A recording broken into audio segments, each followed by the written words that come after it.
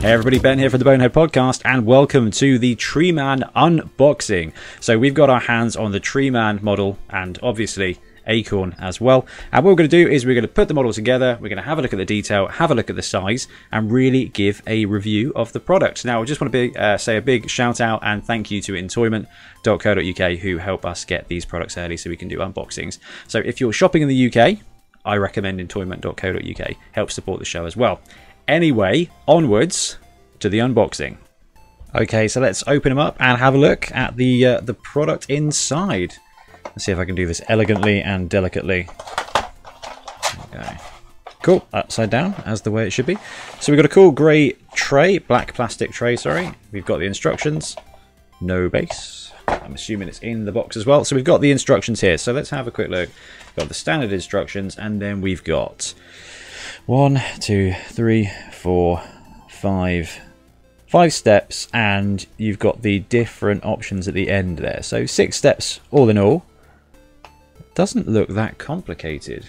One, two, yeah, it's alright. It doesn't look too bad. Doesn't look too bad. After opening the uh, the Blood Bowl 2020 set and seeing all of the steps for what four piece goblin or something, this isn't too bad. And this is quite cool as well. So we've actually got the the rules for the tree man on the back 120k 2 6 5 plus 5 plus 11 plus mighty blow plus 1 stand firm strong arm take root thick skull throw teammate timber. Yeah actually got them and uh, mm, have to check the passing access for here. I mean it makes sense that the Loren Forest one wouldn't have passing access.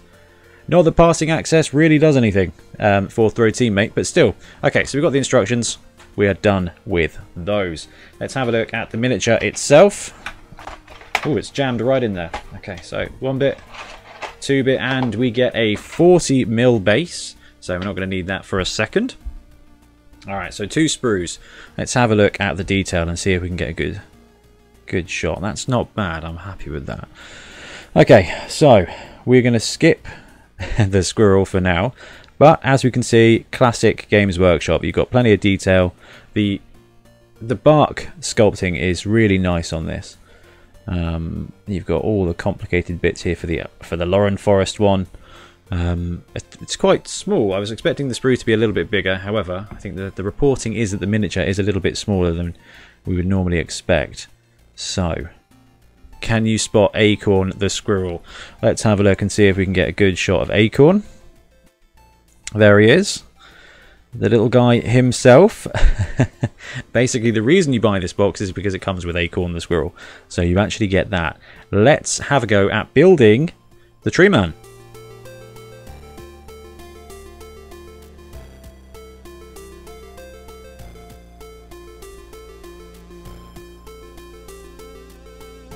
Okay, so we've got him all built now, or him or her.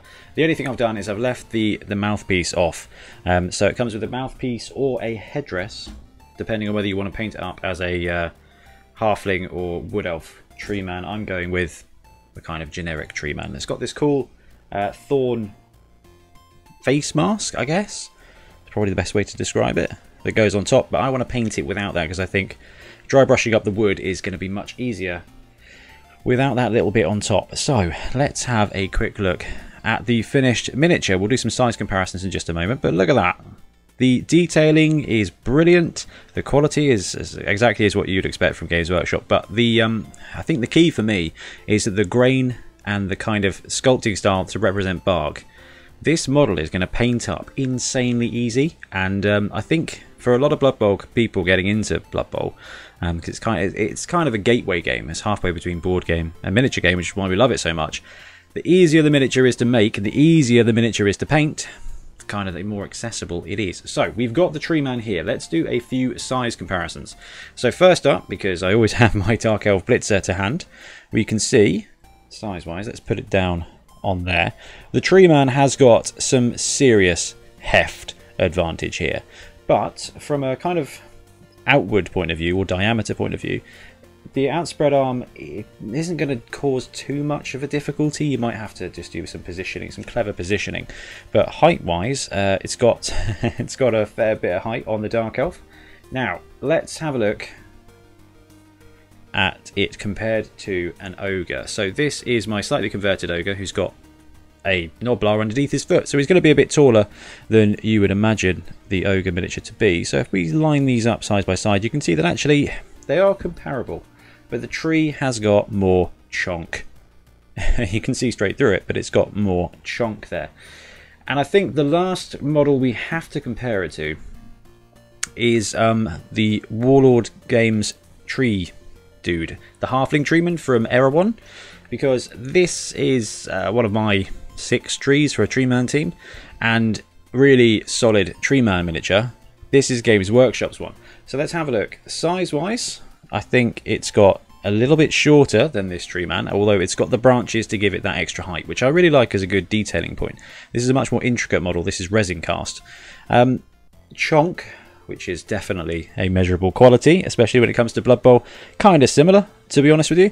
Um, this has got the weight, again, because it's resin, but this is a very cool miniature. So size-wise, if we line some big guys up, the Tree Man is shorter, is smaller, got to get the Minotaur in somehow, uh, than the other big guys out there, but it's going to do an absolutely fine job of representing the trees for your Halfling team or your Wood Elf team.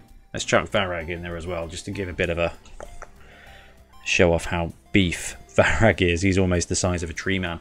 And lastly, I think, and probably more importantly than anything at all, we've got Acorn the squirrel. There we go, get some autofocus. This is tiny, so I've just dotted a bit of glue on his base there so I can keep him steady.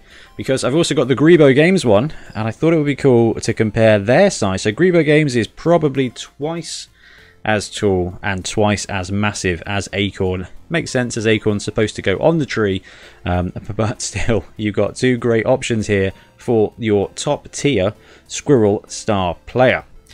Just on building the tree, it really wasn't that difficult. You guys would have seen from the very quick time lapse that it wasn't that tricky at all.